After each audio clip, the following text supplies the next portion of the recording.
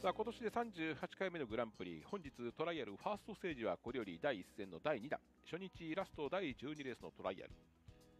雨が止んでいまして穏やかな競争水面上。1、2、3、4、5、6とゆっくりとどうやら枠なり。さあ1号艇桐生順平。3年連続9回目の過去最優出の第32回大会の覇者人気の中心。さあイン逃げなるかです。2号艇片岡正宏。今年の SG チャレンジカップの覇者昨年は初出場でファイナル進出。3号艇山口剛今年は昨年の雪辱戦。2年連続3度目のグランプリ。そして4号艇の深谷智弘昨年のファイナリスト。2年連続3度目のグランプリ引っ張るでしょうか。5号艇平本正幸2年ぶり5度目のグランプリ過去2優出。初戦は強い平本。そして6号艇の菊池康平8年連続12回目のグランプリ過去4優出。さあアウト勢動いていきました。ここもスローゆっくりと1、2、3が入ってダッシュ勢が4、5、6と動きはなくそのまま枠なり3対3侵入体系固まってまいりました。さあここも賞金ランク第7位。桐生順平のイン逃げ成功なるか注目の第12レーストライアル。スタート10秒前。インコースから1番、2番、3番、4番、5番、6番の3対3の枠なり間もなくスタート。1秒。今スタートしていきました。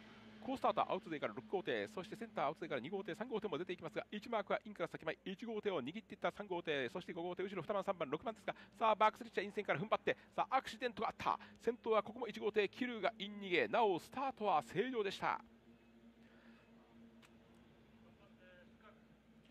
第12レースは3号艇の山口剛失格となっています。アクシデントがあって大胆マークトップ1号艇の桐生順平。そして2番手2号艇の片岡クリア。後方3番手争いですがここでわずかに4号艇の深谷上がってきて1、2、4でレースは2周目とあります。なお3号艇の山口剛が失格となっています。2周目で大胆マークトップで回る1号艇の桐生順平。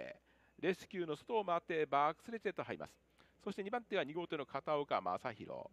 そして3番手には4号艇の深谷智弘上位がここでばらけて1号艇、2号艇、4号艇、あとは5、6となって5艇がばらけてバック中間地点を通過していきます。え初日の第12レーストライアルアクシデントがありました。第2ターンマークを回りますが先頭1号艇の桐生順平。そして2番手2号艇の片岡正宏。そして3番手4号艇の深谷智弘直線コースへと戻ってまいりまして1、2、4で最終周回へと入ります。さあ今年のトライアルファーストステージの第1戦は第11レース、第12レースともにイン逃げ決着となってここは1号艇の桐生順平。人気の中心が見事イン逃げ成功。そして2番手2号艇の片岡正宏。3番手に4号艇の深谷智弘で最後のバックセッチャー1、2、4オッズ2連単は4.3倍3連単ですと19.4倍となっています。アクシデントがあって今から最終ターンマーク1号艇桐生順平。セカンド時点の賞金ランク第7位の見事なイン逃げです。2番手が2号艇の片岡正宏。3番手4号艇の深谷智弘で開幕戦のラスト第12レーストライアル1、2、4です。先頭1番ゴールイン。2番ゴールイン。4番ゴールイン。5番ゴールイン。6番がゴールイン。